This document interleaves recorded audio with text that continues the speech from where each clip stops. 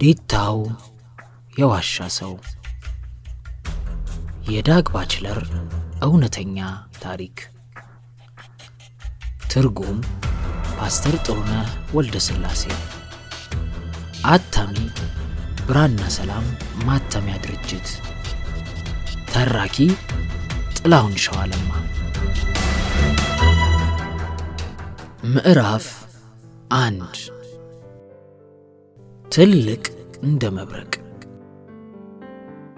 በኒውዮርክ ከተማ በእናቴ ቤት ፊቴን በእጆቼ ሸፍኜ ተቀምጬ ነበር። እንባዬ ከዓይኖቼ እየጎረፈ በእጆቼ ይንጠባጠባል። የማልቀስ ልምድ አልነበረኝም። በዚህ ጊዜ ግን ሆድ ብሶኝ ነበር። ትምህርት ቤት ከተከፈተ ጀምሮ ከሰው ጋር እንደተጋጨው ነው። አሁን ደግሞ በችግር ላይ ወድቅ ያለው እንዲያውም የምረባ ሰው መሆኔ አጠራጥሮኝ ነበር። ችግሬ ጠባይን ለመቆጣጠር አለመቻሌ ነው። እናቴ ብትኖር ኖሮ በጉዳዩ ላይ በተወያየንበት ነበር። በዚያ ዕለት ግን አልነበረችም። ምሽቱን ለመዝናናት ወደ ውጭ ሄዳ ነበር። ከአባቴ ጋር ከተፋቱ በኋላ ሙሉ ቀን መስራት ስለነበረባት ለእኔና ለወንድሜ ለፋልከን ጊዜ አልነበራትም። በየማታው ከሰዎች ጋር ወደ ውጪ ትሄዳለች።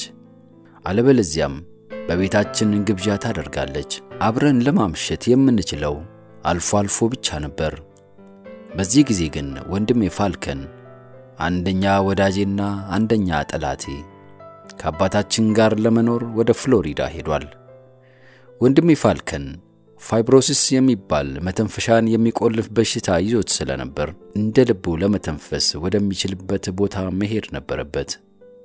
እኔ ግን በባዶ ቤት ሊወደኝና ሊጠነቀቅልኝ የሚችል ሰው በሌለበት ብቻዬን ቀረሁ። ውቧ እናቴ ትዝ አለችኝ። ብዙ ወዳጆች አሏት። አብዛኞቹ ወዳጆቿ አክተሮች፣ ደራሲያንና ዘማሪዎች ናቸው። መክሊቷና ውበቷ የፓርቲው ንግሥት አድርጓት ነበር። የሰዓት ራት ወደ ሰዓት እንደምትሳብ እናቴም ወደ ታይታ ቦታዎች ትሳብ ነበር። ሙያዋ ጎልቶ ሊታይ የቻለው ለኤልቪስ ፕሬስሊ መዝሙሮችን መድረስ በጀመረች ጊዜ ነበር። ይሁን እንጂ እኔ ነፍስ ካወቅኩበት ጊዜ ጀምሮ በተለያዩ ትዕይንታዊ ሥራዎች ሁሉ ስትሳተፍ ቆይታለች። ለቴሌቪዥንና ለቲያትር መዝሙሮችን ትደርስ ነበር። የፊልም ተዋናይም ነበረች። በተጨማሪም የፊልም ተቆጣጣሪ ነበረች። ትምህርት ቤት በሚዘጋበት ጊዜ ፋልከንንና እኔን ወደ ሥራ ቦታዋ ትወስደናለች። በዚያም ኮከብ ተጫዋቾቹ ስለሚያቀብጡን ደስ ይለን ነበር። ድምፃቸውን ሲያስቀርጹ አንዳንድ ጊዜ በመካከል ጊዜ ያገኛሉ። በእንደዚህ ያለ ጊዜ ይመጣሉ፣ ያነጋግሩናል፣ ይቀልዱናል፣ ያጫውቱናል። እኛም እንደሰታለን። በጣም ከታወቁት ኮከቦች መካከል የማስታውሳቸው እነ ሬድ በትንስ፣ ፍራንክ ያሻሉን፣ ናንሲ ሰናትራ፣ ሮዋን ማርቲን፣ ሞሪን ኦሃራና ሎይድ ብሪጅስ ነበሩበት። በጣም የምወዳቸው ግን ሦስቱ ስቱጅስ የሚባሉትን ነበር። እንዴት ያስቁን ነበር! ይሁን እንጂ ስለ እነዚህ የቲያትሩን ዓለም ስለሚያናውጡት ሰዎች አንድ የሚያውከኝ ነገር ነበር። ዕድሜ ለማስተዋል በደረሰ ጊዜ እንደደረስኩበት እጅግ ቁጥራቸው ከፍ ያለው የግብረ ሰዶም ሱስ ያለባቸው፣ ሌሎችም አሽሽ የሚወስዱ፣ አልኮል አዘውትረው የሚጎነጩ ወይም ሁሉንም የሚያግበሰብሱና ፍጹም ደስታ የሌላቸው ሰዎች መሆናቸውን ተገነዘብኩ። ደስታን ነፍጎ የሚያሰቃያቸውን ዝነኝነት ለማትረፍ ለምን እንዲህ ሌትና ቀን ይሰራሉ እያልኩ እገረም ነበር። እናቴም በሕይወታቸው ውስጥ ያሉትን ያልተጣጣሙ ነገሮችን ተገንዝባቸው ይሆናል፣ ግን ለእኛ አትነግረንም ነበር። ለእርሷ ግን ነገሩ የበለጠ በተሟሟቀ ጊዜ ደስታዋ የላቀ ነበር። በቤታችን ትጋብዛቸው የነበሩ ሰዎች ሲያደርጉ የማያቸው ቁጭ ብለው ማውራትና አሽሽ ማጨስ ነበር። የድንቁርና ቀልድም ሲቀልዱ ይሰማሉ። አንዱን ሌላው ይጎነተልና በማያስቅ ቀልዳቸው ሲስቁ አያቸው ነበር። አንዳንዶቻቸው ከተጨባጩ ዓለም ውጪ የሚኖሩ ይመስላሉ። በራሳቸው ዓለም ውስጥ ሲመላለሱ መናፍስትን ይመስላሉ። ከሰው የተለዩ ብቸኝነት ያጠቃቸው ፍጥረቶች ናቸው። ብቸኝነት ብቸኝነት። ይህን ቃል እጅግ አርጌ ጠለዋለሁ። ብቻዬን ባልጋይ ላይ ቁጭልና በቀኑ የደረሰብኝን ሁሉ አነሳለሁ፣ እጥላለሁ። ከነማን ጋር እንደተጣላሁ ትዝ ይለኛል። የትምህርት ቤቱ ርዕሰ መምህር እንዴት አድርጎ በነገር አለንጋ እንደገረፈኝ ትውስ ይለኛል። በዚያ ጊዜ የአስተማሪው ግልምጫ ይጨመርና ያን ሁሉ ሳስበው እኔ ከዚህ ግባ የማልባል ፍጡር ነኝ እላለሁ። እኔ ማን ነኝ? ከየት መጣው? ለምን ወደዚህ ዓለም መጣው? አዎ እነዚህ ጥያቄዎች አዳዲስ ጥያቄዎች አይደሉም። ራሴን በመስታወት ውስጥ እመለከትና እገረም ነበር። የ evolution እድገት ላይ አንድ ደረጃ የደረስኩ ፍጥረት መሆኔን ሳይንስ ነግሮኛል። ከሚገባኝ በላይ ያረጀው ዝንጀሮ ሕይወት የምትሰጠው ይህን ብቻ ከሆነ ለምን ሕይወቴን አላጠፋትም? መሞትን አልፈራም። በሞትክ ጊዜ ትበሰብሳለህ፣ ወደ ማዳበሪያነትም ትለወጣለህ ብለው አስተማሪዎቼ አስተምረውኛል። የእንቅልፉን መድኃኒት ዛቅ አድርጌ ልዋጠውና በዛው በተኛሁበት ድርቅ ብዬ ልቀር ብዬ አሰብኩ። የመጨረሻው ውሳኔን ከወሰንኩ በኋላ ቆምኩ። በእጄ ላይ የነበረውን እንባዬን በሱሬ ላይ ጠረግ አደረግኩና ወደ ባኞ ቤት ሄድኩኝ።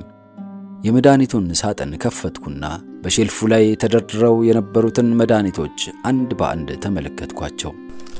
አመሰቃቀልኳቸው። የእንቅልፍ መድኃኒት የያዘው የትኛው ይሆን? እናቴ ሁል ጊዜ ከመተኛቷ በፊት አንድ ወይም ሁለት ስትወስድ አያት ነበር። ግን ከየትኛው ብልቃጥ እንደምታወጣ ሆን ብዬ አልተመለከትኳትም። አንድ በአንድ ብልቃጦቹን አውረድኩና ተመለከትኳቸው። ግን አንዱም የእንቅልፍ መድኃኒት አልነበረም። በመጨረሻም ከመተኛትህ በፊት አንድ ውሰድ የሚል መመሪያ ያለበት ብልቃጥ አገኘው። ቫሊዩም ይላል። የ13 ዓመት ልጅ ነኝ። ያን ቃል ግን ሰምቼው አላውቅም። ብልቃጡን ወደ ቦታው መለስኩና ፍለጋዬን ቀጠልኩ። ግን ሌላ የሚሆነኝ አጣሁ። እንደገና ወደ ቫሊዩም ተመለስኩ። በብልቃጡ ውስጥ የነበረውን መድኃኒት በሙሉ በእጄ ላይ ገለበጥኩትና አንድ ብርጭቆ ውሃ ለማግኘት እጄን ዘረጋሁ። እጄ በአየር ላይ እንደተንጠለጠለ ቀረ። ምናልባት እነዚህ የእንቅልፍ መድኃኒቶች ባይሆኑስ? ምናልባት ለሴቶች ብቻ የሚሰጡ መድኃኒቶች ቢሆኑስ? ሳይገድሉ በሽተኛ አድርገው ቢተውኝስ? በሽተኛ ሆኖ መኖርን አልፈልግም። በቂ በሽታና ስቃይ ደርሶብኛል። የፈለግኩት መሞት ብቻ ነው። መሞት። እንደገና ተመለስኩና በብልቃጡ ላይ የተጻፈውን አነበብኩት። ግን አዲስ መግለጫ አጣሁ። ከዛ በኋላ ምን እንደማደርግ ቁጭ ብዬ አሰብኩ። ቀስ ብዬ ያወጣሁትን መድኃኒት ሁሉ ወደ ብልቃጡ መለስኩ። በሌላ ቀን ራሴን የምገድልበት የተሻለ መንገድ አገኝ ይሆናል ብዬ አሰብኩ። አሁን ወደ ኋላ ዞር ብዬ ስመለከት እናቴ እንደምትወደኝ ለማየት ለምን እንዳልቻልኩ ይገርመኛል።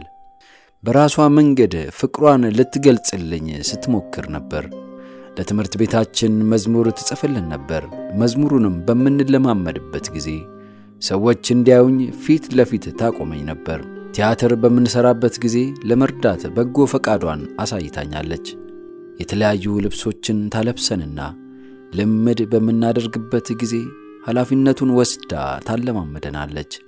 ይህ የሥራ ጊዜዋን ስለሚወስድ ደሞዟን ይቀንሳል። ፋልከን ከመሄዱ በፊት ይህን ሁሉ ስታረግልኝ ግን አይታየኝም ነበር። ፋልከን ከመሄዱ በፊት አንዳንድ ጊዜ አብረን በመሆን እንደሰት ነበር። አንዳንድ ጊዜ አብረን በእንግዳ ቤት ተቀምጠን ቴሌቪዥን እንመለከታለን። እናቴና እኔ አብረን አሽሽ ስናጤስ፣ ፋልከን ግን በጤናው ምክንያት እንዲያጤስ ስለማይፈቀድለት አሽሹን በብዛት በኩኪስ ውስጥ ጨምራ ጋግራ ትሰጠው ነበር። አሽሽ የሚመጣው ከቱርክ አገር ሲሆን እርሱን ማግኘት ቀላል አልነበረም። አንዳንድ ጊዜ ጓደኞቿ ወደ ውጭ አገር ሄደው ሲመለሱ ይዘውላት ይመጣሉ። ያንንም ለፋልከን ከኩኪስ ጋር ጋግራ ትሰጠዋለች። ይህንንም የምታደርገው ስለምትወደው ይመስለኛል። እናቴ ሳታገባ የነበራት ስም ጠርሴስ ነበር። ይህ ስም አይሁዳዊት መሆኗን ያሳያል። አያቶቼ ከጠርሴሱ ከሳኦል ጋር ዝምድና አለን ይሉ ነበር፣ ግን ሲቀልዱ ይመስለኛል። ወደ ኒውዮርክ ከመጣን በኋላ እናቴ በትዕይንት ከሚሰሩት ሰዎች መካከል ከግማሽ የሚበልጡት አይሁድ መሆናቸውን ተረዳች። አይሁዳዊት በመሆኗ ኩራት ይሰማት ነበር። ስለ ሃይማኖት ግን ምንም ግድ አልነበራትም።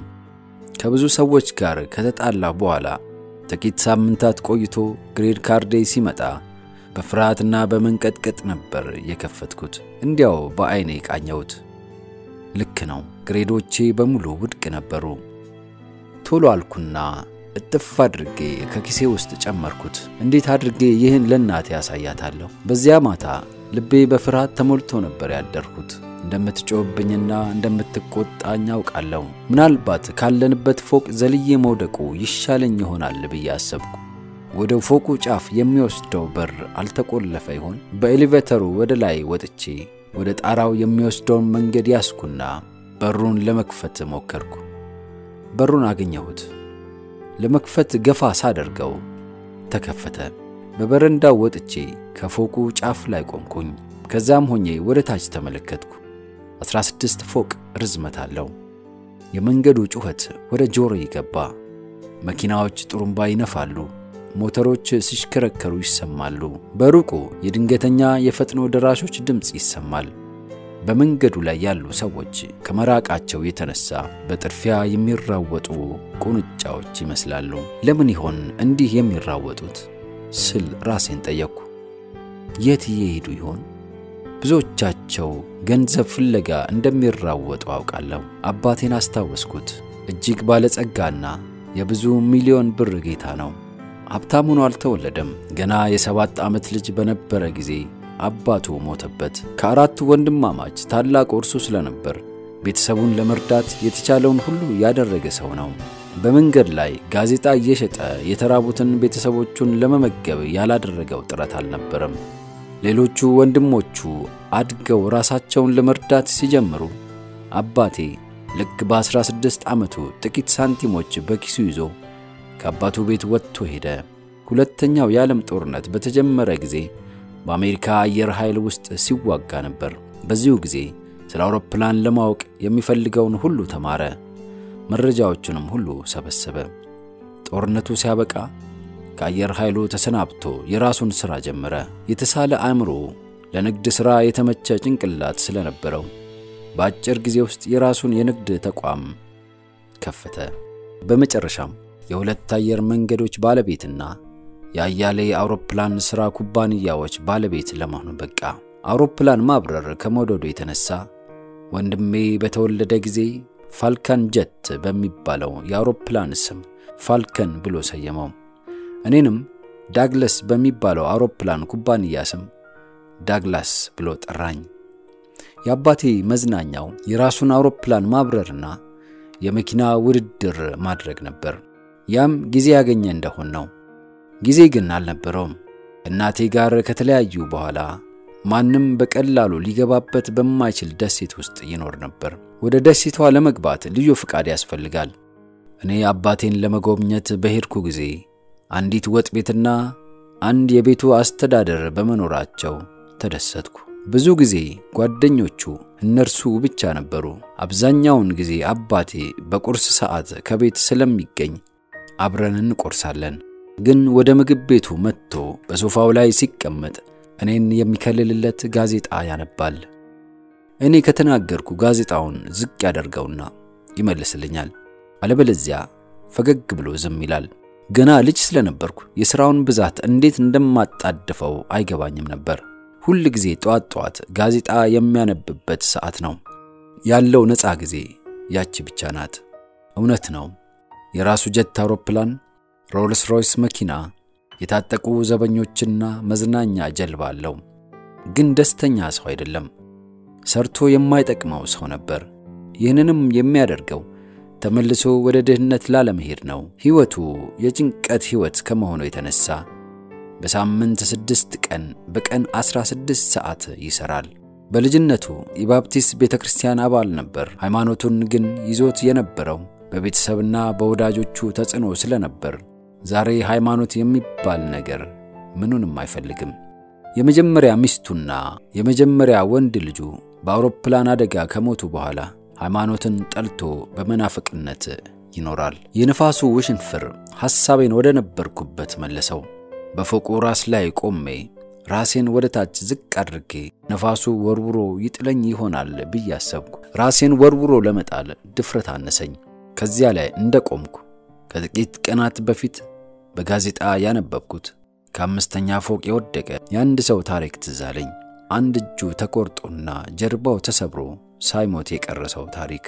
ያልሞትኩ እንደሆን ምን ሆናለሁ? አካሌ ጎድሎ የማያቋርጥ ስቃይ እያሰቃየኝ እንድኖር የሆንክ እንደሆነስ? ተንቀጠቀጥኩ። ሌላም ወደ ኋላ የገታኝ ነገር ነበር። ማቋረጫ የሌለው ያላወቅኩትን ነገር የማወቅ ጉጉት አለኝ።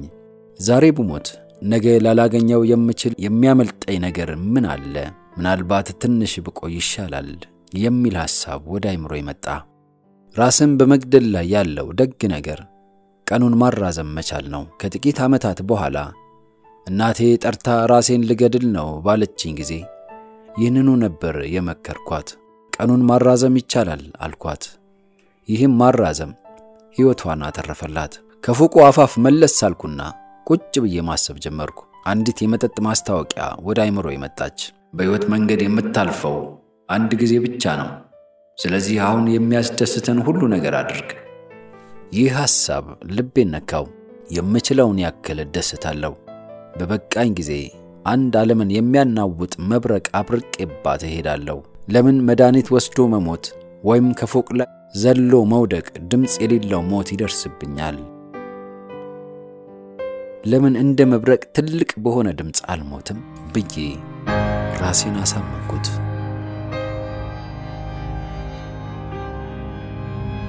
ዲታው የዋሻ ሰው ክፍል አንድ የተከታተላችሁትን ይመስል ነበር። ዳግ ከዚህ በኋላስ ምን ይገጥመው ይሆን? ዲታው የዋሻ ሰው ክፍል ሁለት ሳምንት ይቀጥላል።